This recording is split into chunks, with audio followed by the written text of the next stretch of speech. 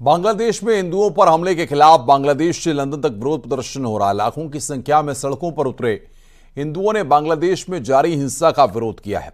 बांग्लादेश की राजधानी ढाका से लेकर चटगांव और पंचगढ़ तक हिंदुओं ने प्रदर्शन कर इंसाफ मांगा है। प्रदर्शनकारियों ने मांग की है कि सरकार उन लोगों को मुआवजा दे जिन्होंने अपनी संपत्ति खो दी है और जिन मंदिरों को तोड़ दिया गया है उनका पुनर्निर्माण किया जाए।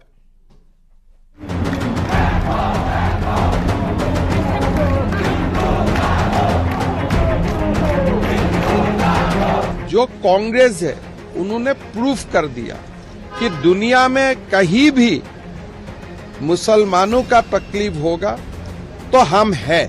सबके मुँह सिले हुए हैं इसलिए सिले हुए हैं क्योंकि इनके मालूम है कि बांग्लादेश को हिंदू उनका वोटर नहीं होगा।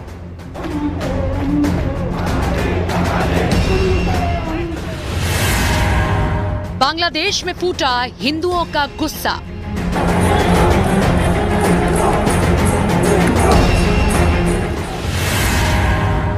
बांग्लादेश की सड़कों पर उतरे लाखों हिंदू।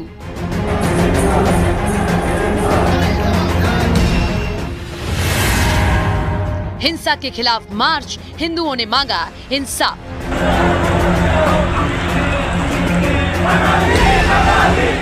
लाखों की भीड़ ऐसा जन सैलाब बांग्लादेश में या तो उसकी आज़ादी के आंदोलन में दिखा था, या तो अब हिंदुओं के खिलाफ हुई हिंसा के बाद दिखा है।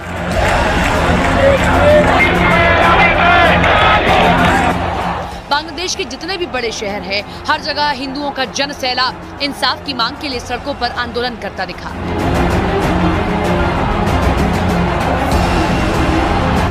वो चाहे बांग्लादेश की राजधानी ढाका हो चटगांव हो या फिर उत्तर बांग्लादेश का पंचगढ़ हो हर जगह जो तस्वीरें आई वो वहाँ हिंदुओं की एकता और उनके ऊपर हुई बर्बर जुल्मों की कहानी को बयां कर रही है। बांग्लादेश में हिंदुओं के ऊपर हुए हमलों और मंदिरों को तोड़े जाने के खिलाफ सबसे बड़ा जन सैलाब चटगांव में दिखा। लाखों की संख्या में हिंदू प्रदर्शन में दिखे और सभी ने हिंसा का जमकर विरोध किया। बांग्लादेश की सड़कों पर हिंदुओं के खिलाफ हिंसा का तगड़ा विरोध, राजधानी ढाका में दिखा। हज़ारों की संख्या में हिंदू समाज के लोग ढाका की सड़कों पर इंसाफ की मांग के साथ उतरे। हिंदू समुदाय के खिलाफ हो रहे अत्याचारों के विरोध में बड़ी संख्या में हिंदू बांग्लादेशी नागरिक ढाका में सड़क पर उतरे। सैकड़ों लोगों ने सुरक्षा, कानून व्यवस्था की स्थापना और एक धर्म निरपेक्ष बांग्लादेश की मांग को लेकर नारे लगाते हुए राजधानी ढाका के शाहबाग चौराहे तक मार्च भी किया। उधर बांग्लादेश के उत्तर अंचल के पंचगढ़ से भी हिंदुओं की विरोध प्रदर्शन की तस्वीरें आई। वहाँ भी सैकड़ों की संख्या में हिंदू प्रदर्शन करते दिखे। बांग्लादेश में हिंसा भड़काने के बाद कई हिंदू घरों, मंदिरों और व्यवसायों को निशाना बनाया गया। कई जगह हत्याएँ हुई, जिसके विरोध में हिंदुओं का गुस्सा फूट पड़ा और वो सड़क पर उतर आए। बांग्लादेश के प्रमुख शहरों में प्रदर्शन कर रहे हिंदुओं की वहाँ की सरकार से मांग है कि जिनकी संपत्तियाँ नष्ट हुई, उन्हें मुआवजा दिया जाए और जिन मंदिरों को तोड़ दिया गया, उनका पुनः निर्माण किया जाए। जिसके साथ ही प्रदर्शनकारियों ने कहा कि वो देश छोड़ने वाले नहीं हैं, अपना अधिकार पाने के लिए सड़कों पर डटे रहेंगे। उधर बांग्लादेश में हिंदुओं के विरोध प्रदर्शन की झलक इधर भारत में भी दिखी। अल्पसंख्यक बांग्लादेशी हिंदुओं के साथ एकजुटता दिखाने के लिए जेएनयू में कैंडल मार्च निकाला गया। बीजेपी की छात्र शाखा एबीवीपी के कार्यकर्ता हाथों में कैंडल लेकर मार्च करते नज़र आए। बांग्लादेश में अल्पसंख्यकों पर हमले को लेकर भारत में सियासत तेज हो गई है। बीजेपी ने विपक्ष पर इस मामले में चुप रहने का आरोप लगाया है। बांग्लादेश का हिंदू के लिए ये कांग्रेस लोग कितना बार ट्वीट किया, कितना बार धरना प्रदर्शन किया। आज जो कांग्रेस है, उन्होंने प्रूफ कर दिया कि दुनिया में कहीं भी मुसलमानों का तकलीफ़ होगा तो हम हैं। लेकिन हिंदू का तकलीफ़ है, हम नहीं है। हम खाली हिंदू का बीच में हिंदू को जातियों में तोड़ने का काम ही हमारा मकसद है। याद रखना जो बांग्लादेश में हो रहा है, जो चर्चाएँ हो रही थी अभी। वहाँ नब्बे फ़ीसदी जो हिंदू बचा है, वह दलित समुदाय से है।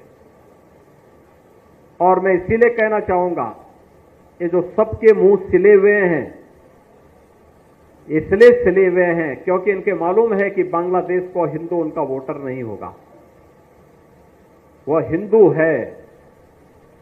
ये हो सकता है उसकी गलती हो, लेकिन हम उसको गलती नहीं मानते, हम उसको मानते हैं, उसका सौभाग्य है कि वो हिंदू है और उसकी रक्षा करना हम सबका दायित्व है।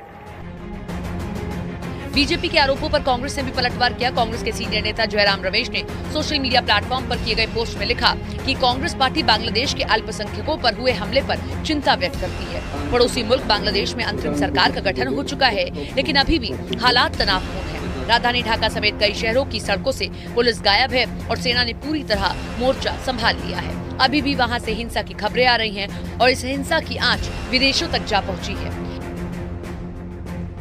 लंदन और फिनलैंड में बांग्लादेशी हिंदुओं के साथ एकजुटता दिखाते हुए प्रदर्शन किए गए। लंदन में संसद भवन के सामने सैकड़ों की संख्या में लोग हाथों में तख्तियाँ लेकर प्रदर्शन करते दिखे तो वहीं फिनलैंड में भी लोग प्रदर्शन करते नज़र आए हैं।